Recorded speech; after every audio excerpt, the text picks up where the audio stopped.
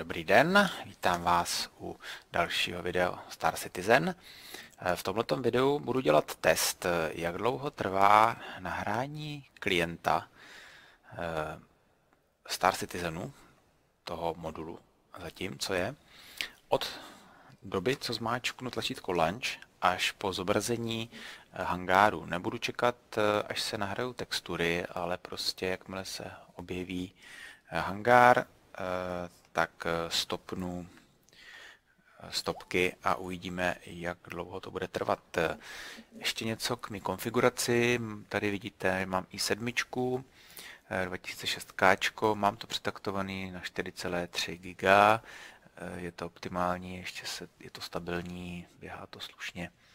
Výkonově to poskočilo tak o 10-15%.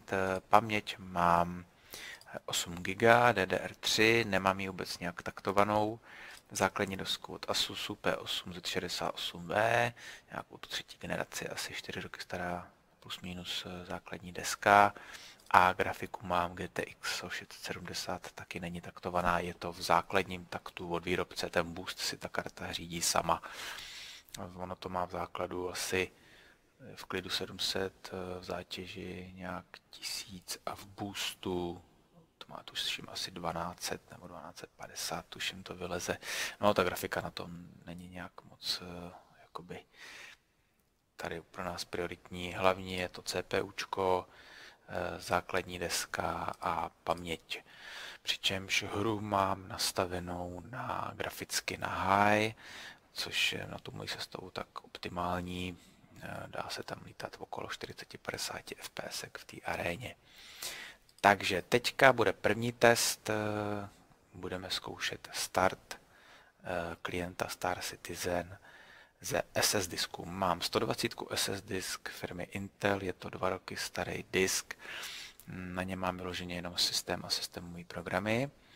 Počítač jsem restartoval, je eh, úplně čistionké, jakoby ramka, že je uvolněná, takže uvidíme, jak to dlouho bude trvat. Ještě se přihlásím. Samozřejmě jsem si ještě vypnul tu službu BFE, jak jsem v minulém informačním videu ukazoval. Tak, eh, začneme. Zmáčknu lunch a tím automaticky spustím stopky. A tohle to je teda SS disk, jakmile se objeví hangár, tak eh, bude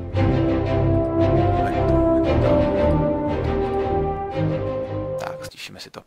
Jakmile zmáčknu tlačítko Launch a budeme čekat, dokud se objeví hangár, jakmile se objeví hangár, tak budeme, zastavíme stopky, uvidíme, jak to bude rychlý. Takže raz, dva, tři. E, minule, když jsem to dělal, tak mi to trvalo na tom, na tom SS disku asi minutu 55 plus minus, takže uvidíme, jak to bude rychle.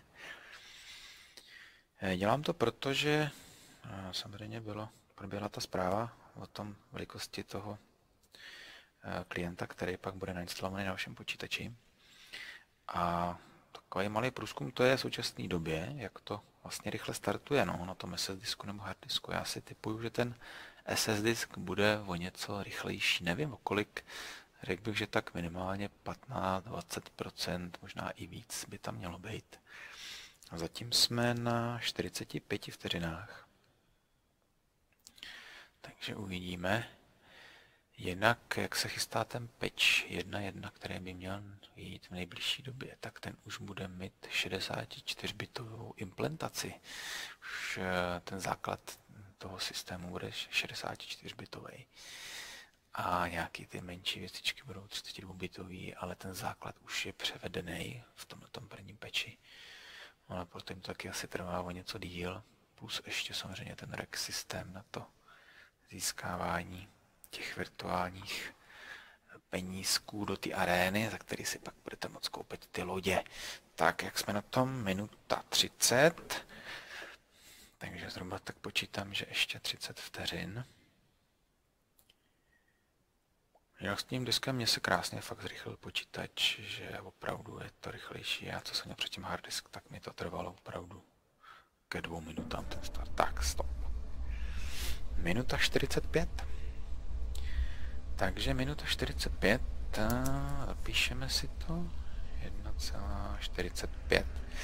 Takže start disku, start klienta Star Citizen na této konfiguraci trval minutu 45.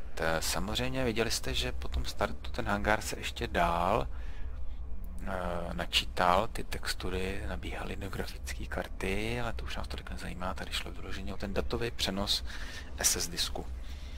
Takže minuta 45, tak e, uděláme střih a dáme start ze počítače, z harddisku klasického.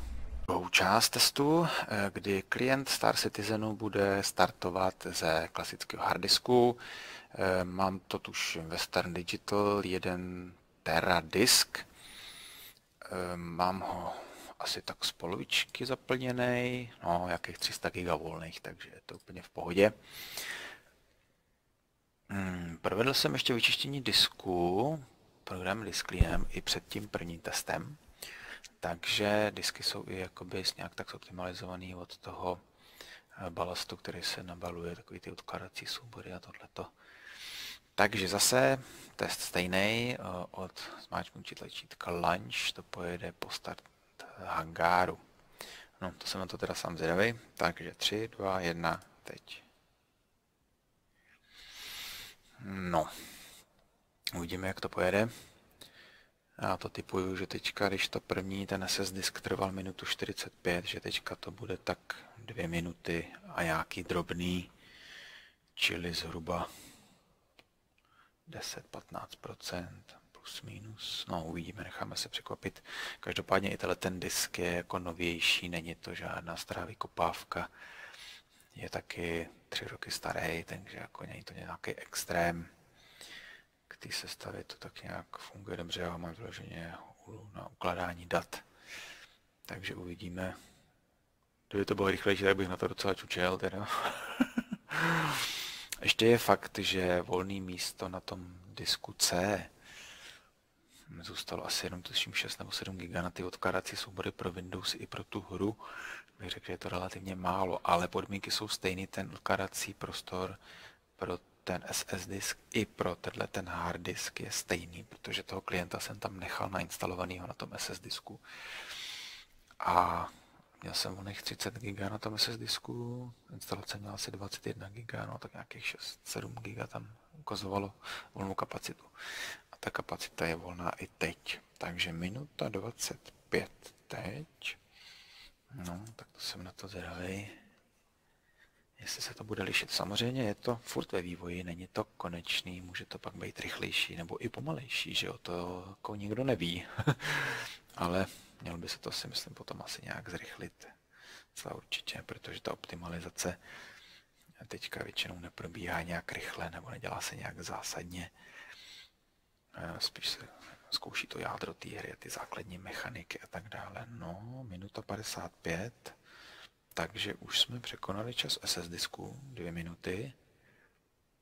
Pořád to jede, pořád to jede. No takže už teďka se dá říct, že je to opravdu rychlejší ten SS disk, no. Jsou to zhruba furt stejné podmínky, zase jsem restartoval počítač. No, dvě minuty 15. Dvě minuty 20. No, je to znát, to už je docela dost, no, to už je těch 2 minuty 30, to už je 45 vteřin. No, no. 2 minuty 38. Furt to jede. Tak, stop. No, takže 2 minuty 40. Takže 2 minuty 40. No, takže když to srovnáme s SS diskem, tak SS disk minuta 45 a Klasický jednoterový hard disk, není to žádná vykopávka, je to 3 roky staré, 2 minuty 40, takže řekněme, že zhruba to zaokrouhlíme, tak jedna minuta rozdíl, takže je to o třetinu rychlejší SS disk než klasický hard disk. Tady se mi zdálo, že ty textury natoč, naskočily nějak rychlejc, i už jde hejbat myší u toho SS disku, to ještě chvilku trvalo, než to zpřístupnilo ovladače. Ale datový přenos a nahrání klienta teda zvítězil jednoznačně SS disk. Minuta 45 ku 2 minutám 40.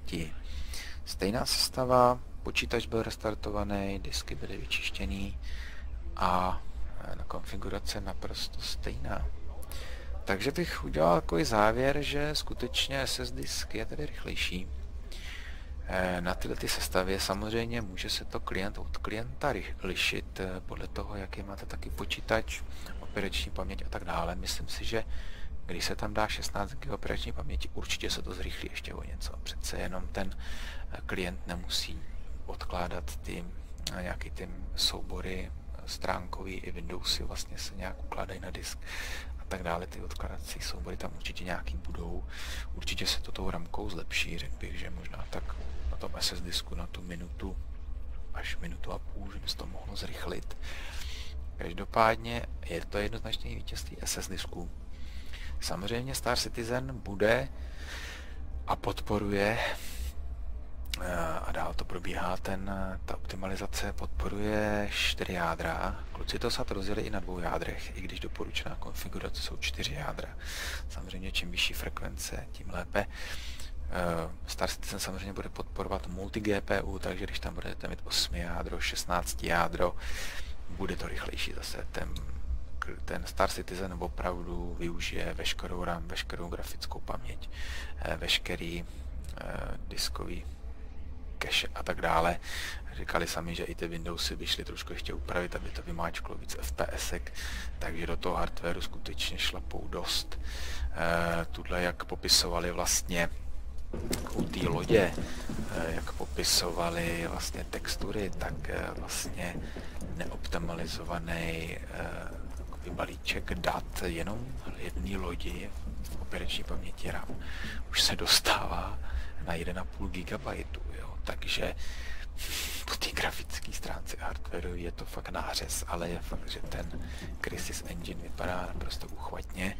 Já mám teďka detaily high a ty ultra už se za stolik nelišej. Já pak chci ještě udělat jedno video srovnání různých eh, grafických nastavení, takže uvidíme pak ještě jedno video s nastavením grafiky.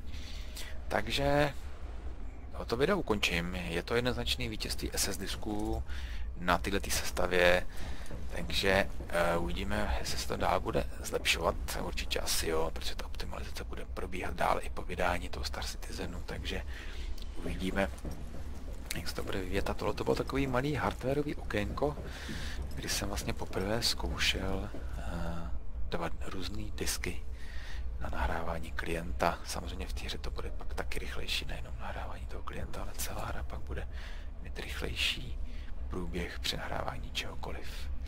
Takže zatím se budu loučit a u dalšího videa naschle.